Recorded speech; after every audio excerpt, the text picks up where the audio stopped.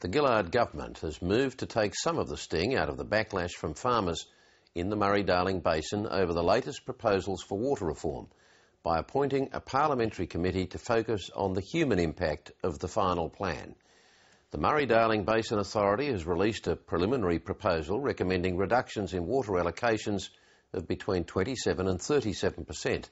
The politics of water reform have always been tricky and the dividing line between farmers and environmentalists has never been greater, in this region at least. In acknowledging the urgent need for action, Julia Gillard now has to steer these reforms through a parliament where she'll be relying for support, on the one hand, from Melbourne Greens MP Adam Bandt, and on the other, New England independent and farmer Tony Windsor. Tony Windsor was appointed today to chair the parliamentary committee and I spoke with him from Tamworth late today. But first, let me give you a flavour of the emotions running through the basin communities with scenes from today's briefing by the authority at the southwestern New South Wales town of Griffith.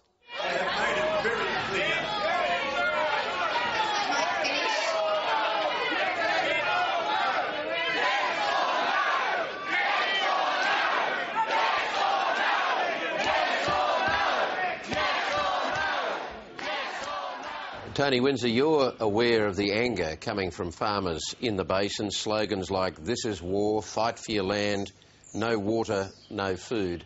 Do you sympathise with those sentiments?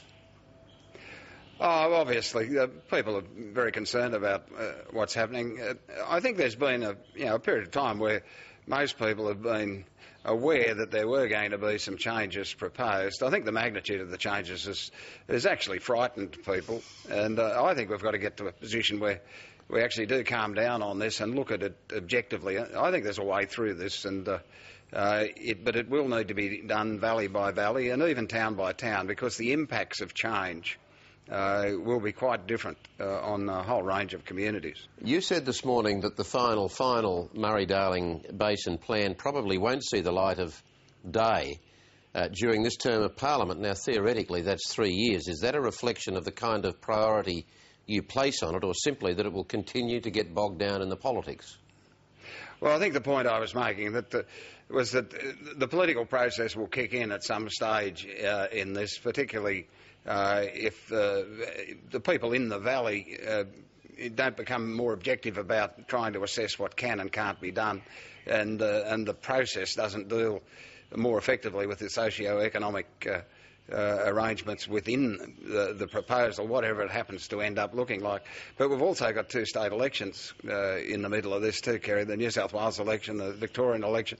Uh, all of those things can come into play. So even though the authority has put out a guide, it, uh, it's not even a plan yet. It's not even a draft plan. So it's a long way from being a firm legislative proposal. And I think we've got to walk uh, slowly with the people that are affected on this and see if there's a range of options that will fit their particular uh, stressed circumstance. There's some people uh, that may be able to accept a 20% cut with no real economic uh, disadvantage to their communities. In, in other areas, 20% could be enough to annihilate a particular town. So if there's a way and a, a mean to be able to overcome that, I think we've got to get down to that sort of micromanagement and not try and throw a blanket over the whole catchment. The thing I don't understand about your committee, the committee that's been uh, announced today with you as chair, is that you've got this whole uh, process still to run, uh, run by the independent authority, and yet there's going to be this parliamentary uh, inquiry chaired by you running parallel to that, and you will actually finish your inquiry quite possibly before the, even the proposed plan comes out of the authority, let alone the final plan at the end of next year. So what is the logic? Well, there may be room to extend uh, the committee's deliberations uh, as well into that.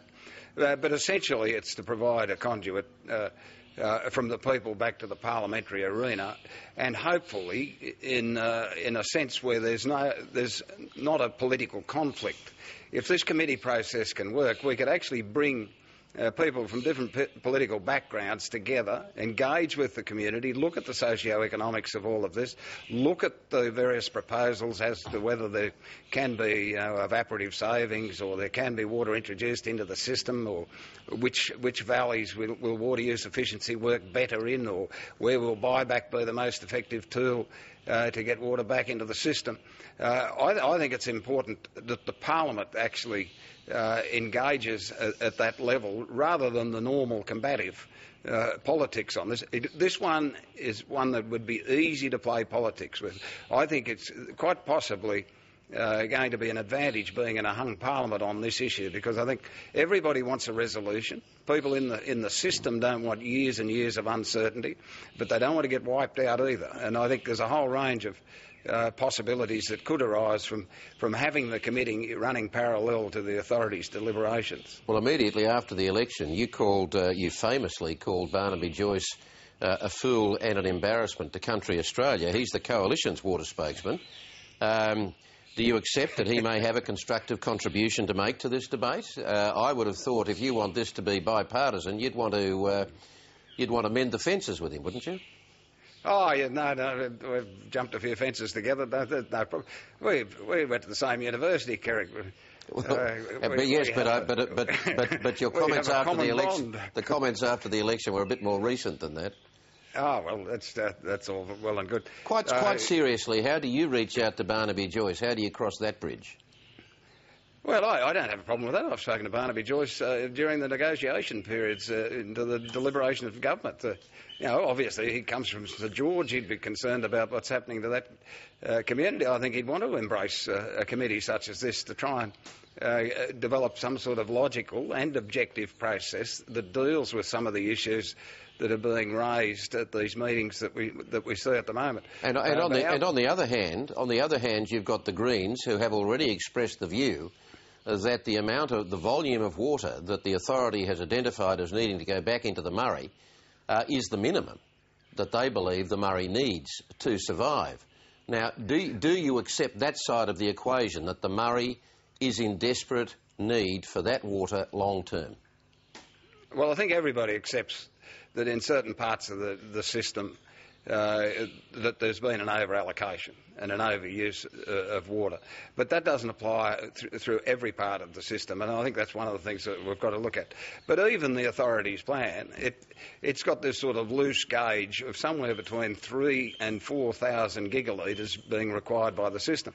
Well, even in their own recommendations in this guide, and it's still only a guide, they've given themselves 25% wriggle room. Yeah, if 3,000 will do it, why have they got 4,000 in there? Uh, so, uh, and it, it, begs the question about some of the evaporative losses.